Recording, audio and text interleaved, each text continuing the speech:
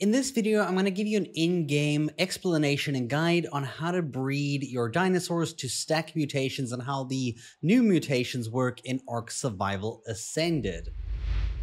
This is our end goal right over here. Now, previously I made a guide on how to do this using basically um, the Photoshop to draw the illustrations of like, you know, how breeding works. So if you want to get a full in-depth guide that explains just the bare basics of how mutations work, I recommend checking this video out. But the one that I'm going to do right now, this video in game, is going to go ahead and show you everything you need to know from within the game. In my previous video, I used a special tool called the Tech Binoculars these ones over here, just like this. And when you go ahead and you use this while looking at a dinosaur, you will see all of their stats. For example, if we look at the very top row, we get 330 health, and then there's a zero, which is its base stat, and then a second zero, which is its mutation counter, how many mutations it gets. Each mutation will add a two over here, and if you stack mutations, it will go two, four, six, eight, up until a total or a maximum of 254. After that, the mutations stop working. And the final zero is for every single time you go on your dinosaur and you press this level up button over here. Now, in case you didn't know, the first zero and the second zero in Ark Survival Evolved were actually the same number. In this game, they are separate, which means you can pass mutations separately instead of using just the base stats, which we're going to show you. But a lot of people were saying, how do you get the tech binoculars? Now, this is uh, Ark kind of um, made this really difficult because this is actually the final reward for beating one of the hardest bosses in alpha difficulty. So yeah, those binoculars are not going to be super easy to get unless you're using a mod that does a similar thing. Instead, what you're going to do is you're going to tame, for example, a low level male at the beginning of the game. Doesn't matter the level of the dinosaurs you're taming to breed for mutations. This dad over here, you can see, has 330 health. And in this case, we're also going to be looking at the melee damage because these are the stats that we want to focus on. I suggest writing the stats of your dinosaurs that you tame down on a Excel spreadsheet and never, ever, ever press the level ups because the level ups do not get passed on to babies that you breed. So the base stats for this direwolf are melee damage 132.5%. Now go ahead and get yourself a female, the opposite gender of the base one that you have. This one also doesn't matter the level. I do highly recommend though that you breed a couple of these until they have the same stats. For example, like the mother of this one has 330 HP as well as the melee damage of 132. So you can see here the stats match exactly which is going to make this easier. If you don't do this, you will have to memorize the stat values for both the mom and the dad. And when the babies come out with a mutation, you'll have to see, is it higher than the mom's or is it higher than the dad's or is it the same as both of them? A mutation will actually add an increase to those stats. It's also a good idea to get a bunch of females for your male so you can put your male in the middle just like this. And these are a bunch of moms all around it and they will all breed with the single male. The idea is to breed until you get the mutation that you want. In our case, we either want health or melee damage. Now, if we're looking for a mutation in melee damage and we look at the stats of our parents here, you can see they are both 132.5. The baby will have a mutation which will change the color of the dinosaur in some way. You can see here in this case, it gave it purple, purple claw feet, paws. That's what they're called and I've named this Son Melee 1. So I know that this is a male. We're only going to try breed males so that we can replace the dad.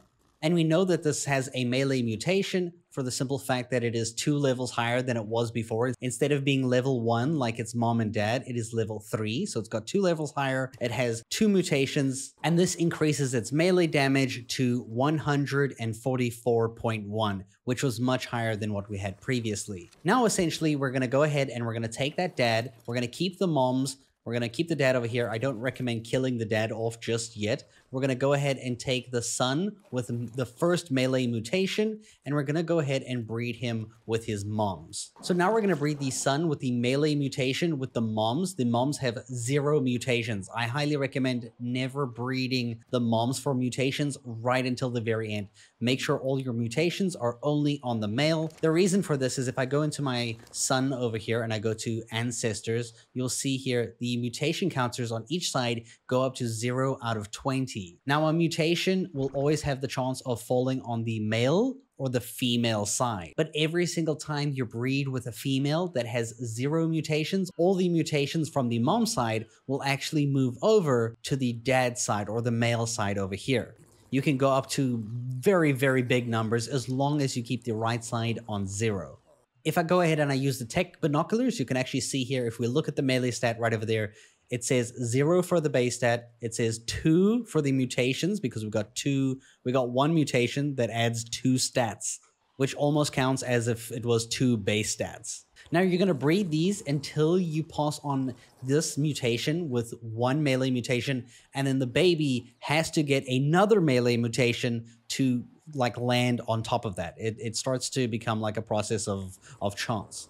Eventually, you'll get the melee mutation to stack, and you can see here we have Son Melee 2 because this has two melee mutations. You can see it's got orange claws right now, which is the change that we got from the mutation. And if we go ahead and we look at its melee damage, it is now 155 instead of 144, like its previous dad, the Son Melee 1. So like you did before, you're going to take this new Son Melee 2, and you're going to go ahead and breed it with those same moms until you can get the third mutation for the next Son, which in this case is Son Melee 3. And if we look at him here, you can see he has melee damage of 167. You can see he's starting to get nice and beefy at this point compared to what he started at. If I go ahead and I open up the binoculars, you can see here this is shown by 167 on the melee damage, 0 base stats, 6 mutation points, which is actually 3 mutations, and 0 added levels. You'll also see if I go to show ancestors, we have the two mutations on the male side, and then this new one landed on the female side on the left. But once we breed it with a clean female with zero mutations, this one will move over to the right hand side and it will go over 20 and you can go up to like 80 actually in the previous game you could go up to like negative like trillions and it, it, would like break the whole thing and you would still be able to get mutations. It was weird the only problem is if you end up on 20 over here and 20 on the left-hand side too, then you will no longer get any stat increases when you get mutations. So beware. So where you can see the 6 here by the mutation counter, that can go up to 254. If you go over 254, it actually stops working.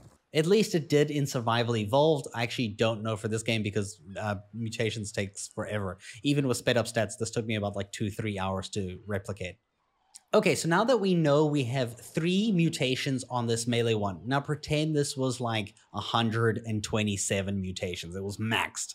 And we want to go ahead and pass this on to a creature that has a much higher melee base stat because our base stat for this is zero. So we have six mutations, but we have zero base stats, as you can tell. At this point, you're going to get to the end of the game and you're going to start taming max level 150 creatures or dinosaurs for example, here I have a high level female mom over here that has 46 points into the melee stat. If I go ahead and look at here, you can see it's 46, 0, 0. The melee damage is 399. You can also track this in here, 399. Compared it to this male that's also level 150, it has a melee damage of 329. But this one has the higher health. It has 41 points into health, whereas the female only had 37. So essentially, we're going to breed these two until you get the perfect creature that has both the health and the melee of those two high levels. So we have the 41 health and the 46 melee damage onto one creature here, a perfect male. And then you'll keep breeding until you get a male and female with both the highest health and the highest melee damage with zero mutations at this point. They must not have any mutations. You're just trying to level the stats on both of them you're going to go ahead and try and make as many females as you can because like the moms of the previous mutation line, we're going to make a bunch of clean moms, but with the high stats over here. So we're going to go ahead and back this up into this little spot over here. You'll see all four of these direwolves over here are perfect. They both have the 41 health and the 46 melee damage, the highest stats that I could find in the wild, for example. From this point, you're going to grab your creature that has the mutations. So in this point, the son with three melee mutations or 127 if you have the, the weeks to spare.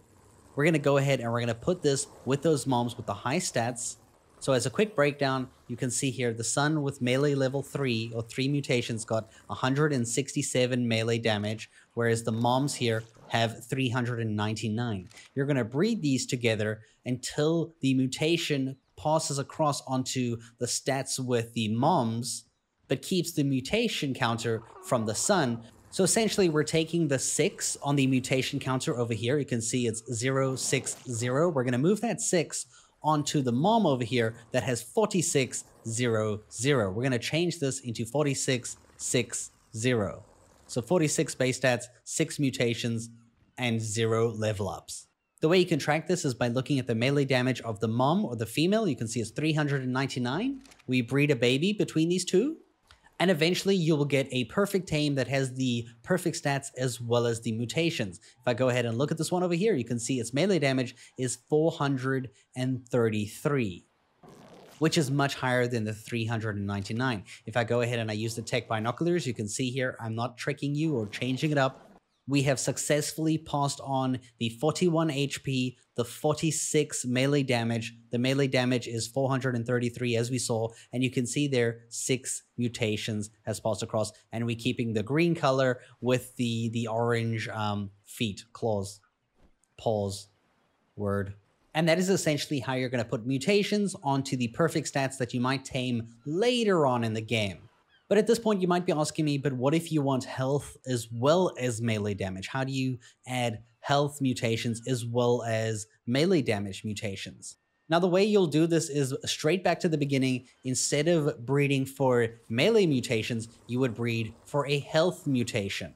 So this is a son from the original, original level 1 dad, the very low level dad and we managed to get a health mutation on it. And you see here, if I use the binoculars, you can see it's zero for the base stat, two for mutations, and zero for level ups. It has a health of 462 compared to its dad, who only has a health of 330.